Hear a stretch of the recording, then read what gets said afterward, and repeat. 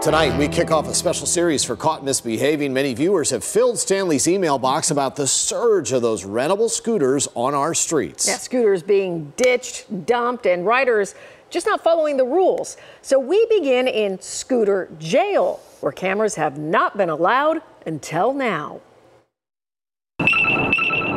What you're hearing is the sound of a scooter being pinged by someone trying to rent it. However, renting that scooter, or more than a hundred that are here, won't be rented out anytime soon. These scooters were designed in California, but apparently they're being impounded in Tempe. I'm in an undisclosed location in the East Valley where literally hundreds of scooters, including Bird, Lime, and Razor, have been impounded. A place where several break ins have occurred by people trying to recover the scooters since there's a market for charging them. Even as I speak, more scooters are being impounded.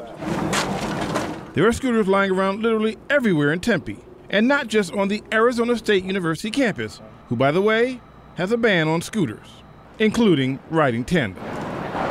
But that's a different segment altogether. If you go one city over, you'll end up in Scottsdale, where you might find scooters covered in mud. At least I think that's mud. Or you might find them sitting in a canal. People don't like them on the path. They leave them on the path and blocks the path, man, and people get upset with that. So people just throw them in the water? I, I mean, obviously. I've read they go 15 miles per hour, but according to one rider, they go 17 miles per hour. But wait, there's more.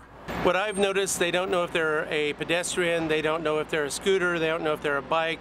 They don't follow the rules of anything because I don't think there are really any rules. That was Kirk from Joyride, and he and his wife offer cart tours in Old Town Scottsdale. The truth be told, the city of Scottsdale adopted new rules, but none of them seem to include safety.